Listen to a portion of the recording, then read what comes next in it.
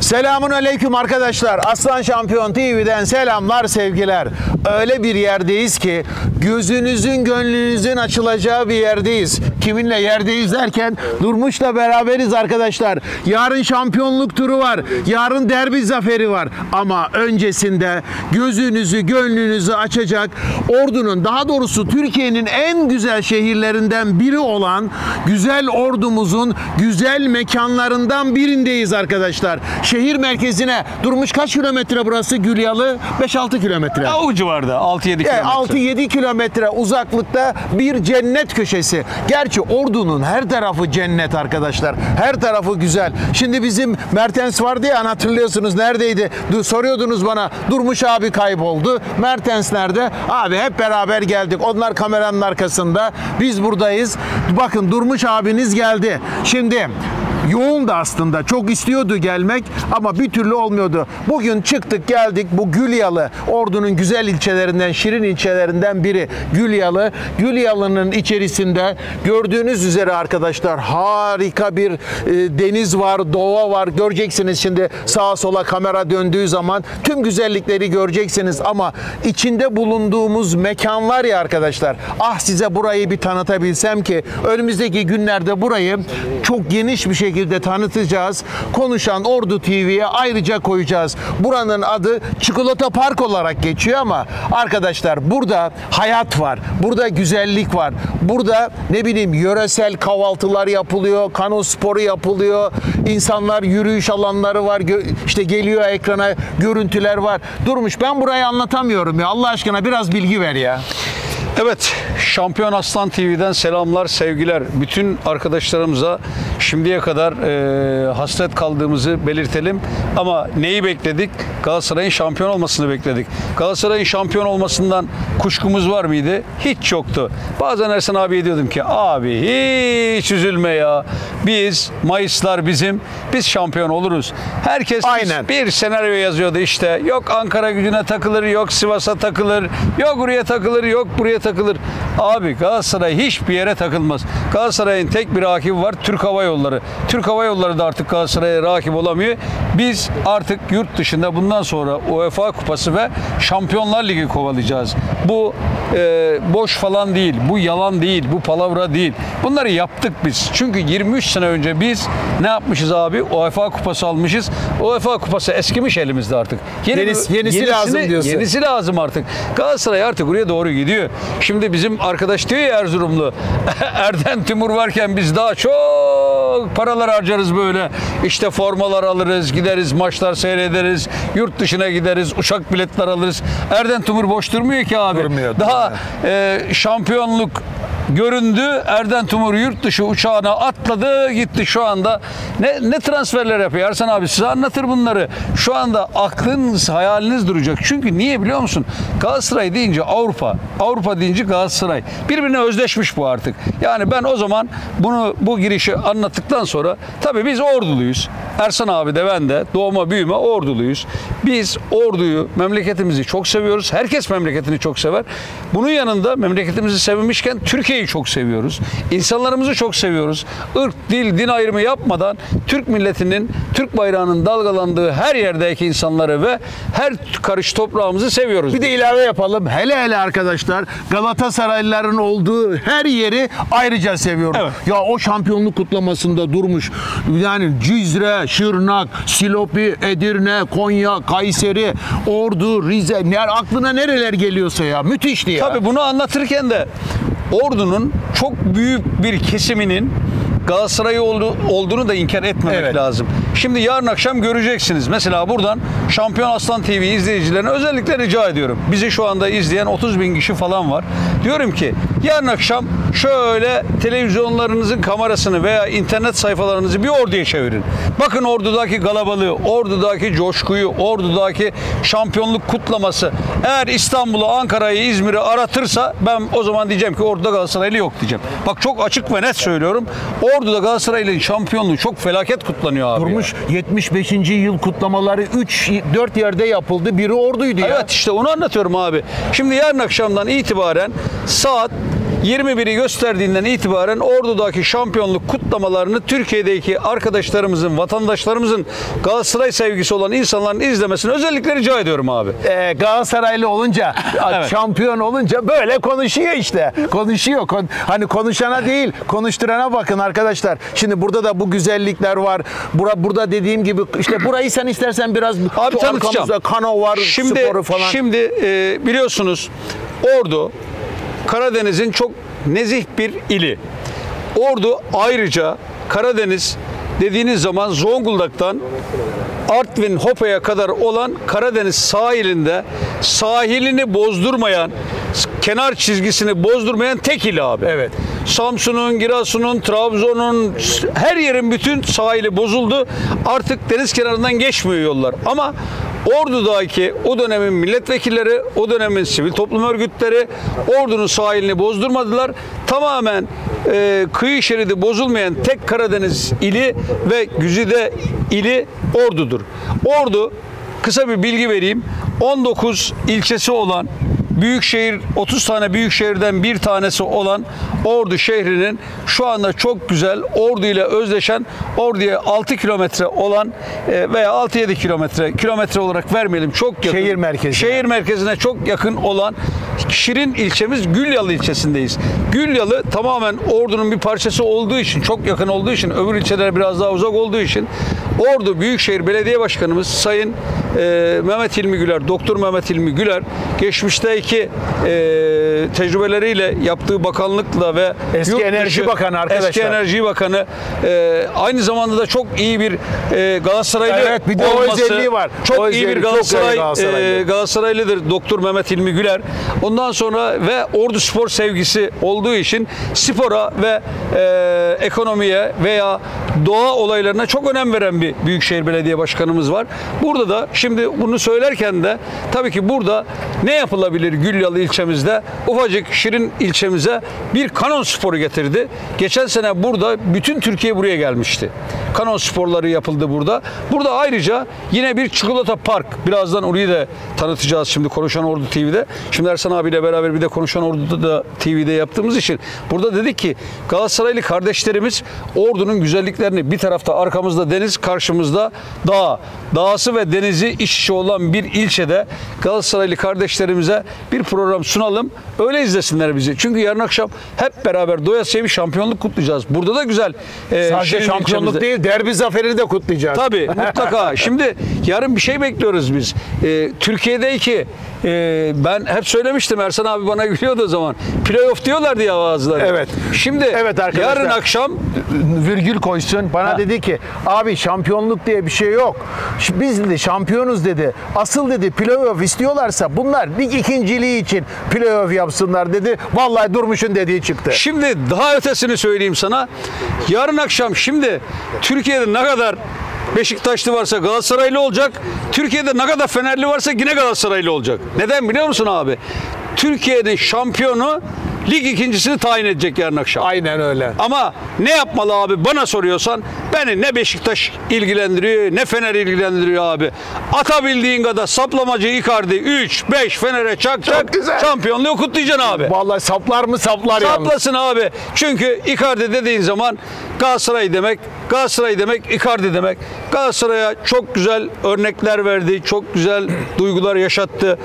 Gerçekten Icardi'yi getirene ve Icardi'nin burada olmasına sebep olan bütün herkesi kutluyorum. Niye derseniz Icardi Galatasaray'da çok güzel bir uyum sağlattı. Icardi Galatasaraylı futbolcuları bir araya getirdi. Galatasaraylı futbolcularla örnek bir davranış sergiledi.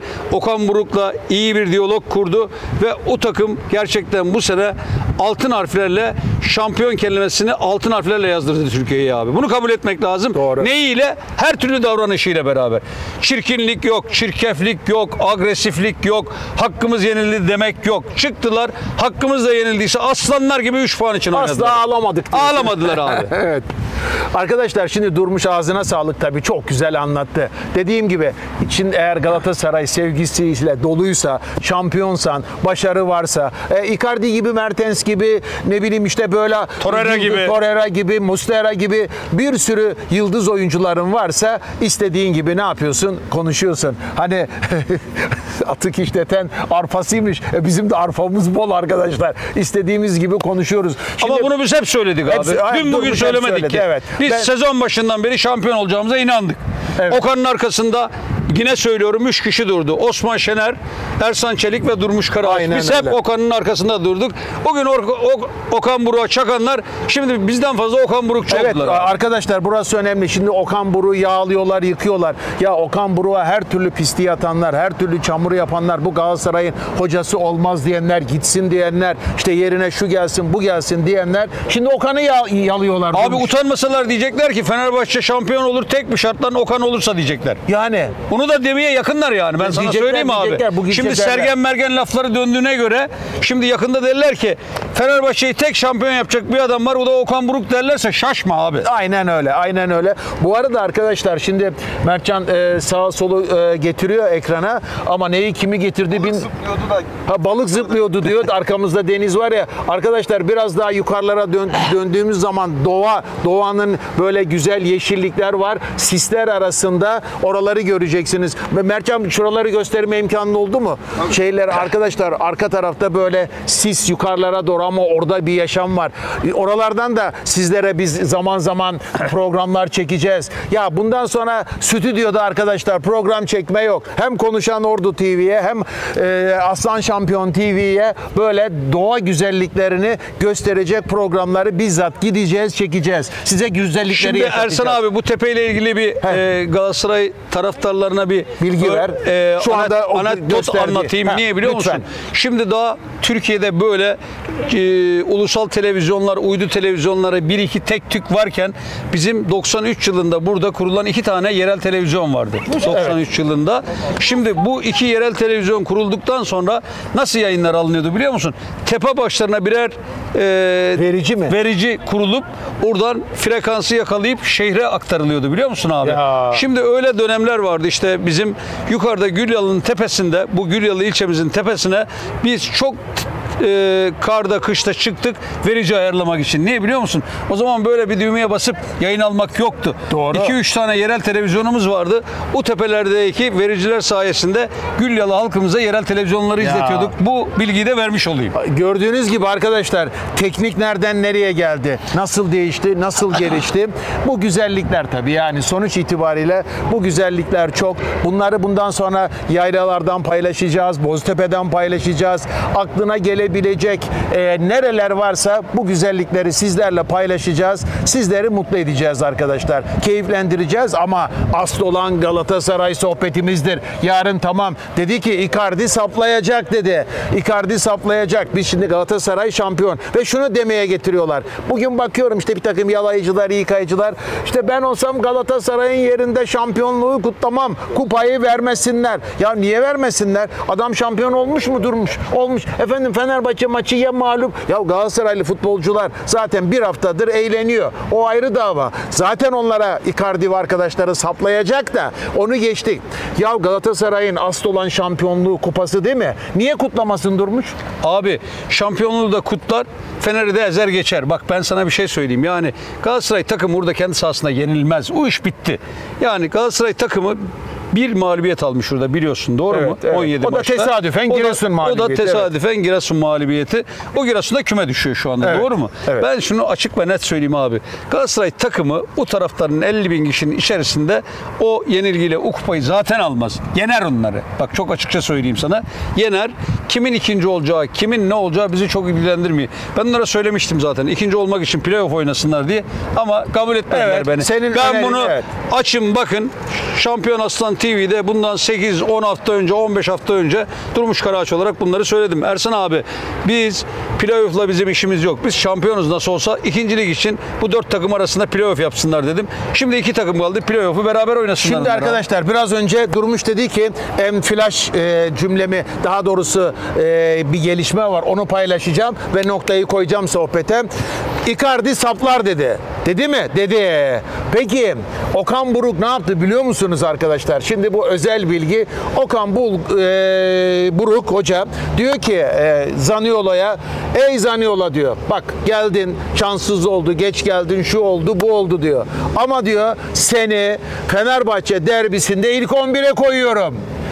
Bu maçı sen bize alacaksın diyor. Zaniola'nın nasıl kaliteli, klas, üst düzey bir oyuncu olduğunu söylemeye gerek yok. Geçen sene Fener e, Roma takımı kimi Fe- Feyenoord'u mu yenmişti e, e, Mertcan?